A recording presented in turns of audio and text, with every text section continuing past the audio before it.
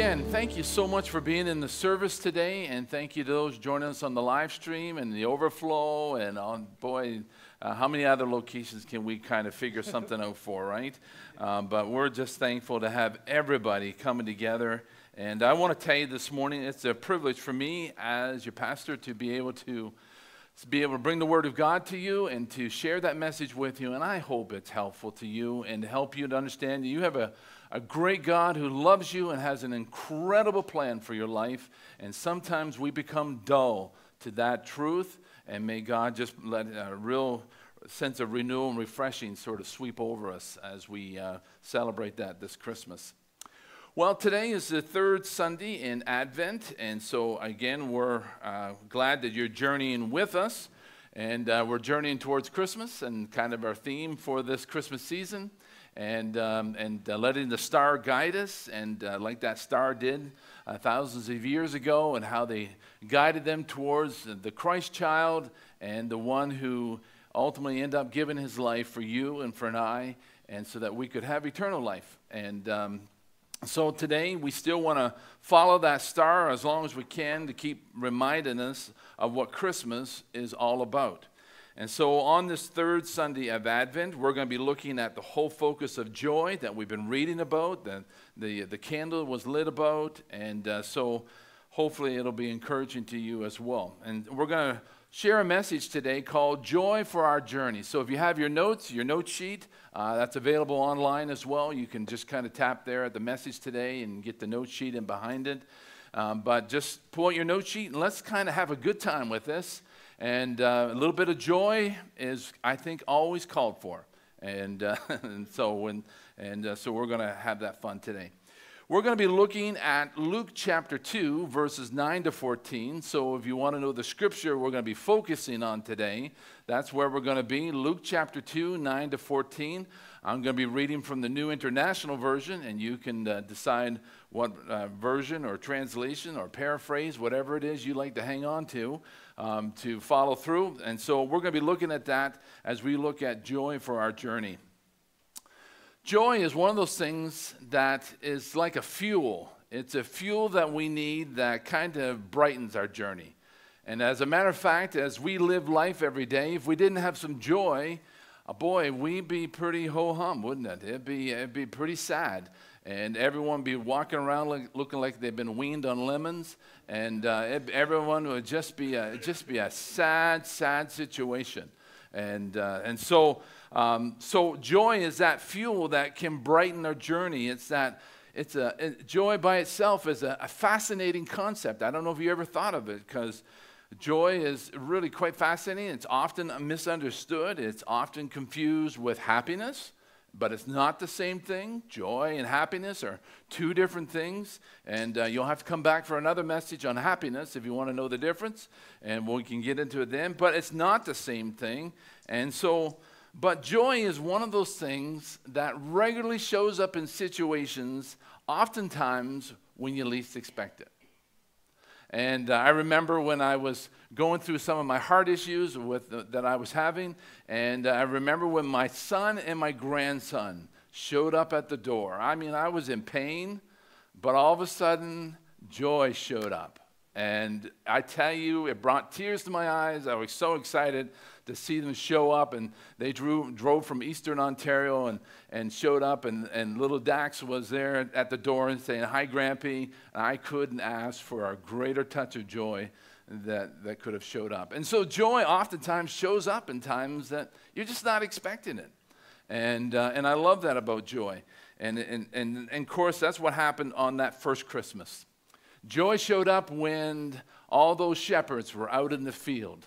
Those burly men out there. Uh, they were often referred to kind of as uh, the crooks of the day. They, were, they didn't have a very good reputation. So I know we love to look at those wonderful shepherds and say how sweet and innocent they are. Shepherds in that day did not have that reputation. They were not sweet and innocent. All right, they were oftentimes looked at some of the lowly of society. But those shepherds that night, um, I think, give us a pretty good picture of how joy can show up unexpectedly. These men that are out there, they weren't cowardly men in any way. They were a rugged lot. They were used to living in the outdoors. They were used to cooking over the fire. They were used to wild areas. They fought off predators. They did all kinds of things to protect their sheep. And uh, they would have been ready to ha- sort of fight off bandits and thieves and anything necessary. They were ready for it. But on that night, as we read the biblical account there in Luke chapter 2, one thing they weren't ready for was that great news that was when the angels appeared in the night sky and they began to announce the good news. Shepherds weren't ready for that.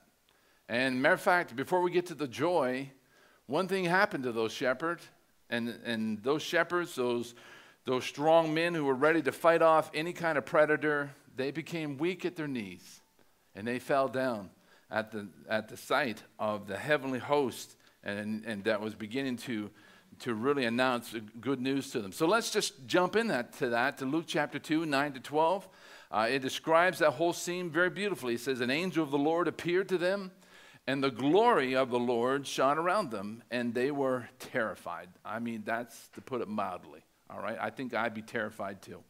All right? But the angel said to them, and this is great do not be afraid. Now, I don't know about you, but every time an angel shows up, what do they start the conversation with? Do not be afraid. Now, most of us, we walk around and we say, Hi, how are you?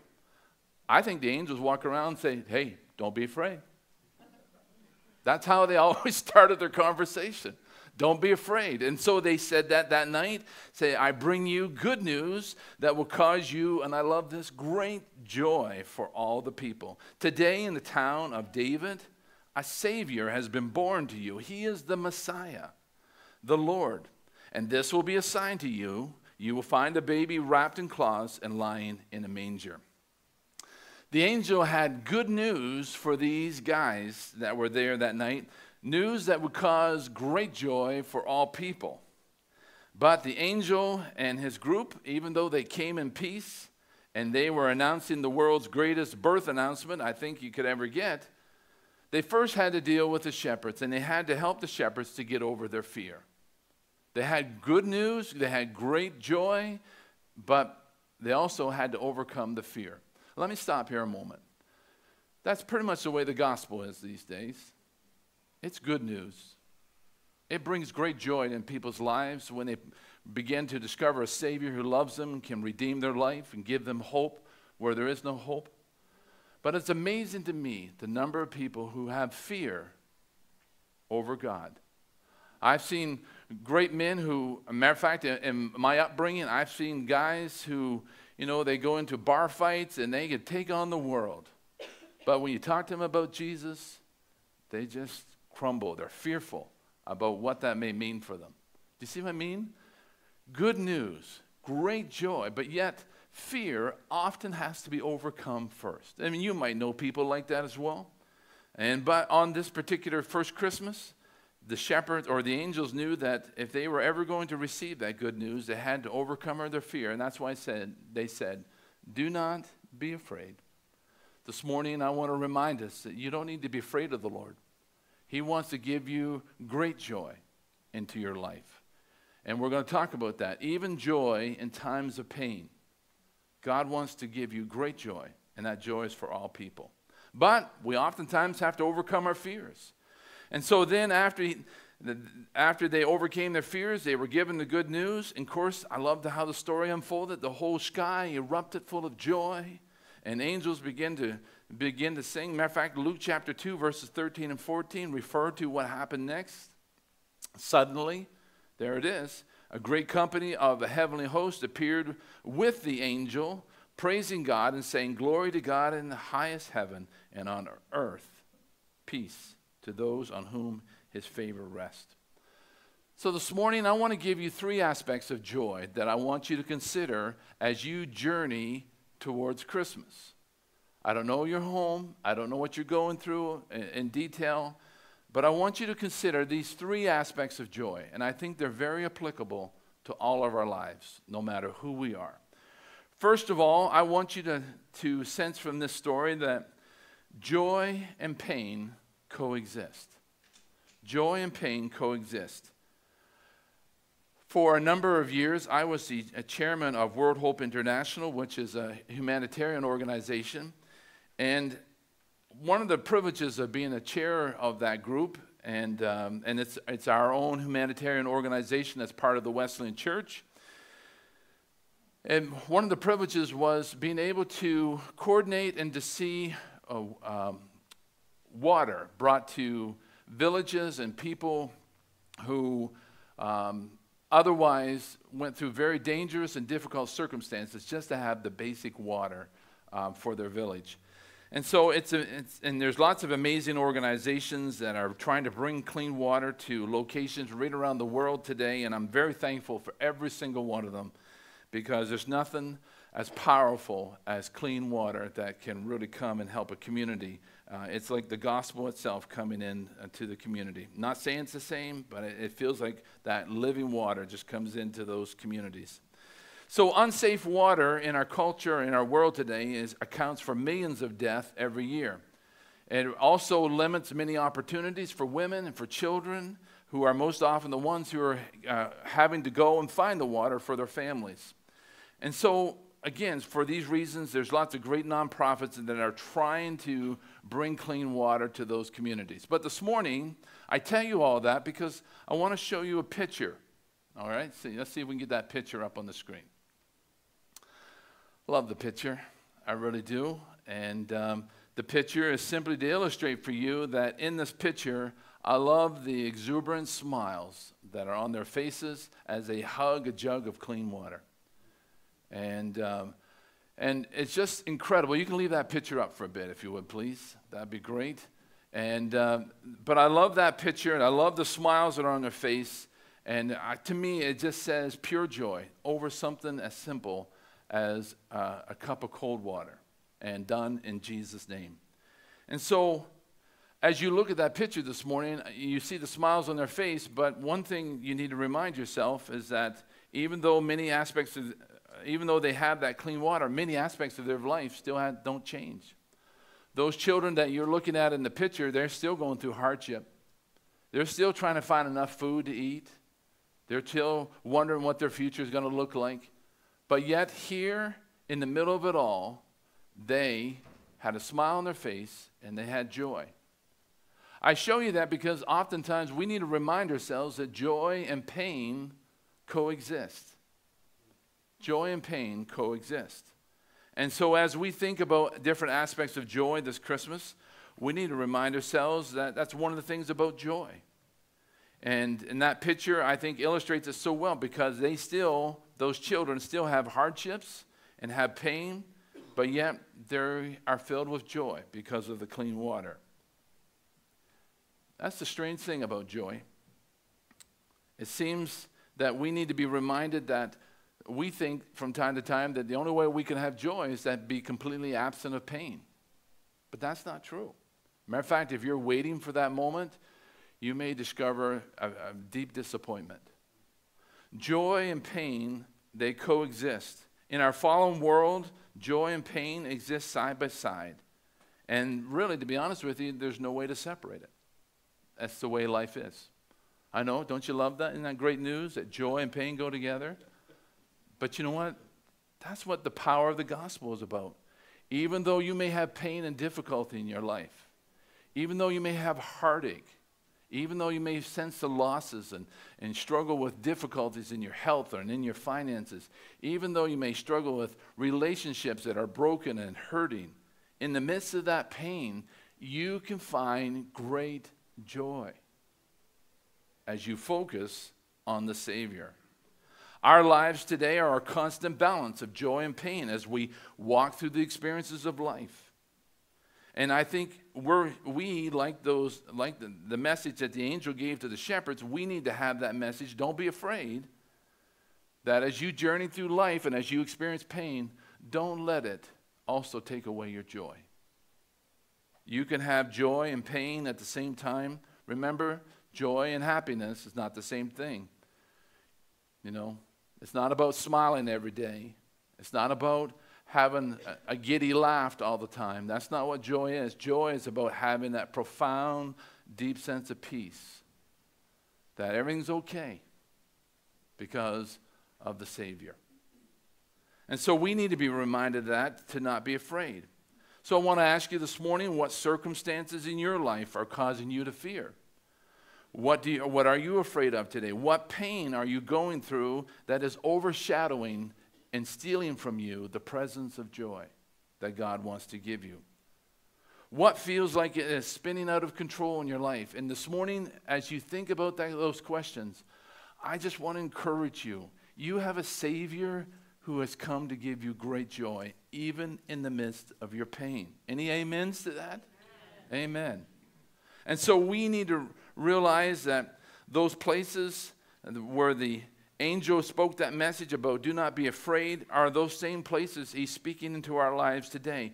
The angel's message back then on that first Christmas needs to penetrate very deeply our lives today and realize that this gospel that we are a part of is not something that's weak and it has no ability to help us in our time of pain, but it can give you joy even though you're going through pain.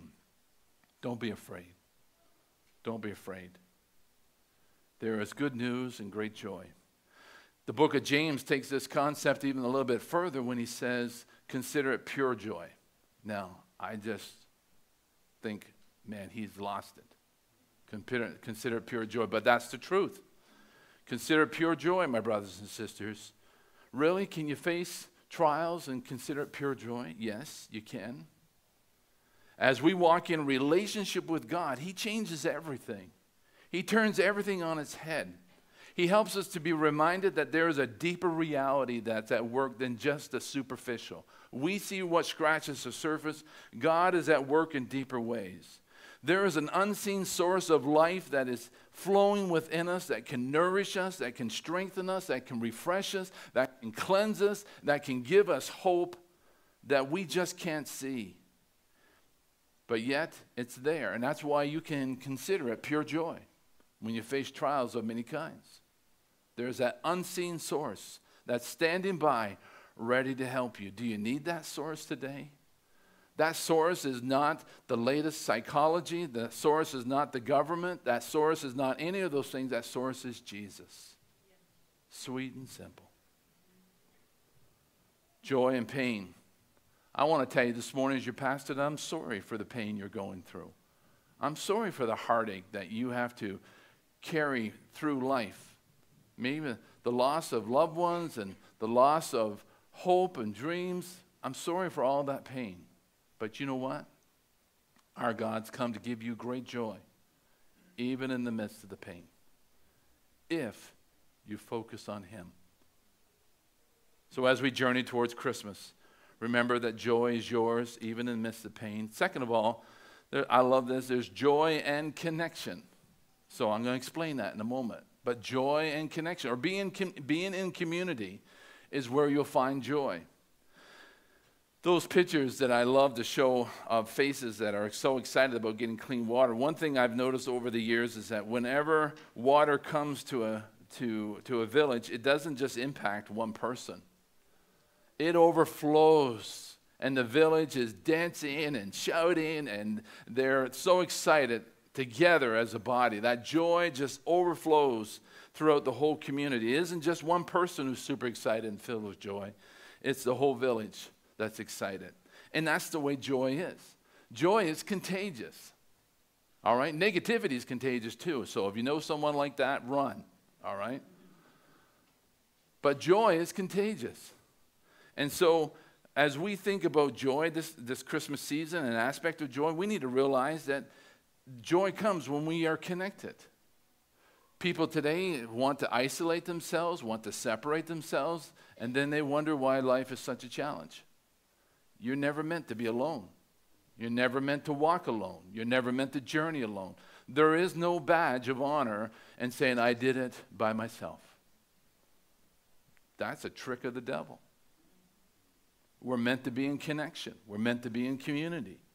And you will find that joy can be yours by being connected in community. Yes, we can also be very challenging and trying to one another, but I'd rather put up with that than miss out on the joy that I also enjoy. So this morning, I want to encourage you to think about how joy also comes through connection. The good news of Christ, the good news of Christmas, is the good news of joy for all people. Notice that? It's for all people. It's in community, it's in connection. That life giving joy is meant to bubble over, it's meant to spill from your life, to leak from your life, and to touch the lives of others. Matter of fact, if you have joy in your life, you can't help to bubble over. Do you know that? You ever meet someone? You just, in their presence, you think, I just love talking to that person. Because you're in their presence and joy just spills over. Next thing you know, I don't know what they have, but I just enjoy talking to them. Boy, there's something about them. And you just love being with them. You ever meet anybody like that? Raise your hand if you met somebody like that. Phew, I'm hoping I'm like that. All right? But you, you meet them and, and joy, you can't help but, but be impacted. And it's, it's, like you're getting a virus. Instead of, instead of COVID, you're getting, the, you're getting joy virus. There we go. It's spilling over. And every one of us has a chance to experience that joy because Jesus came to save us all. He came to really provide it for us. And that joy is found not only in times of pain, yes, but also in times of community, connection. In fact, you and I are reminded time and time again that the coming of Jesus and even the promise of his second coming are meant to be a source of joy to all, all of us in creation. Jesus, when he came, he came to set things right. He came to redeem the entire world from sin and death. And that good news wasn't just for the shepherds who were on the hillside that night. That good news is not just for those of us who have the privilege of sitting here in Canada. That good news is for the whole world. It should spill over. Joy is, should be uncontained and uncontainable by borders or by governments. It should be something that crosses every nationality, every race. It is something that happens when we are in community together. Psalm 96, 11 to 13 says this Let the heavens rejoice let the earth be glad, let the sea resound, and all that is in it. Let the fields be jubilant and everything in them. Let all the trees of the forest sing for joy. Let all creations rejoice before the Lord, for he comes. Matter of fact, we should read that text before we go to church on Sunday morning. Sometimes people roll in the church, you think, boy, they're, they're going through a rough time. They're looking pretty sad. But you know what? When we come together, I hope somehow we can help you to catch a little bit of the joy that spills over from our lives to your lives, and that we can help each other. Fear and pain is what isolates us, but it, joy is what brings us together in connection. And the joy of Jesus coming on that first Christmas is a joy that goes out into all the earth, and He's trying to connect us to Himself. But I think He also wants us to connect to one another. I love our taste of Christmas we're going to have in a few moments. I hope that we hear conversations of people talking to one another and just enjoying the connection together. I think it is beautiful. It is like music when I hear God's people talking. Some people say when you go to church on Sunday morning, you know, you meet people, boy, everyone's so noisy before the service. You know, I just can't, I can't believe that. They're all talking and all, all that stuff. To me, I love it. I love God's people greeting one another, meeting one another, encouraging one another. It is beautiful fragrance. So don't be quiet here, all right? But let the joy overflow and encourage one another in community. Finally, this morning, the, the last aspect of joy that I want you to consider is, is the response that joy wants us to have. So, what is our response to joy? What do we do when joy suddenly interrupts our everyday lives? What do we do when it sets up camp alongside of the mundane things you have on your schedule? What do you do when it's a painful time you're going through? How do we live in that balance of joy and pain until Jesus comes? How do we foster and experience joy that is offered to us? Sometimes it's easy to be joyful, but other times it's not easy. I, I, I'll be the first to admit that. It's not always easy. Sometimes our struggles and our hurts are so overwhelming that we feel like we're trapped and we're bound by our fears. And I understand that. But Jesus came to set you free from that. Joy can feel like something that is so far away, so distant, maybe even impossible. But I want you to know that the Bible tells us that when we begin to worship, we will also begin to discover joy. And as a matter of fact, joy is something that will lead to worship, and just the opposite true. When you begin to worship God, He begins to introduce joy into your life. See how it goes? The Bible shows us that the appropriate response to joy is always worship. And, as, and I would suggest that worship um, can jumpstart our joy, but only if we fix our eyes on Jesus rather than our, our immediate problems and our fears. So, in this Christmas story, the angel announced the good news of great joy, and then the entire host began to praise God. Notice here that the shepherds immediately they went to we see where baby Jesus was, and what did they do? They worshiped him. See? The response was worship. And then they left there telling everyone they saw about him. Matthew even tells us that the wise men responded to the joy of, of their message. It, it says in Matthew chapter 2, verses 10 and 11, says, When they saw the star, they were overjoyed. See? Are you overjoyed this morning? You see our star? All right.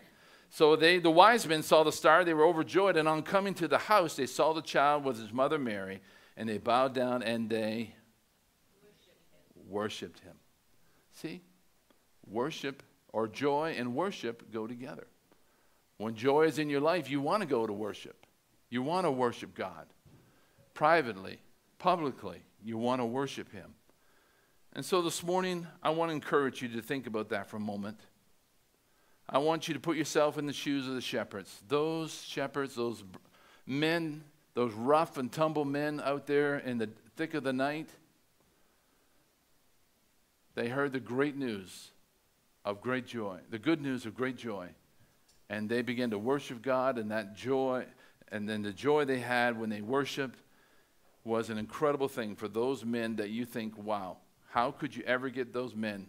Maybe even those men, uh, maybe even on the countryside that night, some of those shepherds might even raise their hands. Can you imagine that? They raise their hands in worship. Can you, can you imagine people doing that?